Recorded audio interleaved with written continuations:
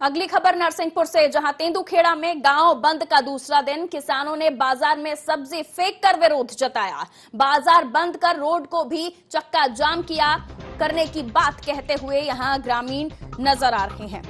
नरसिंहगढ़ के, नरसिंहपुर के तेंदुखेड़ा से खबर, जहाँ गाँव बंद का दूसरा दिन और दूसरे दिन सब्जियों को सड़क पर फेंक कर विरोध जताया जा रहा है।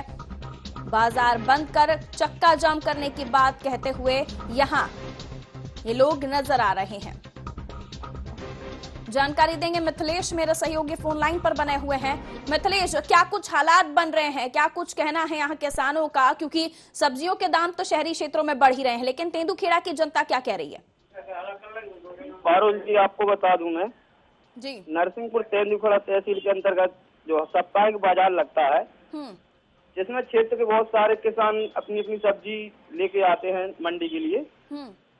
तो आज किसानों ने चक्का जाम किया और तोड़ फोड़ की सब्ज़ी की। और जो दूध वगैरह लेके आते हैं दूध भी फेंक दिया रोड पे जिसको मवेशी आज खा रहे हैं। जब किसानों से मेरी बात हुई है जी। तो किसानों का कहना ये हुआ कि जैसे शासन ने सातवां वेतन लागू किया सरकारी कर्मचारी के लिए हम्म।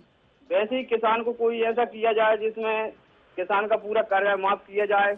और जो अनाज है, अनाज का समर्थन मूल्य के अनुसार मार्केट में एक ही रेट कर दिया जाए।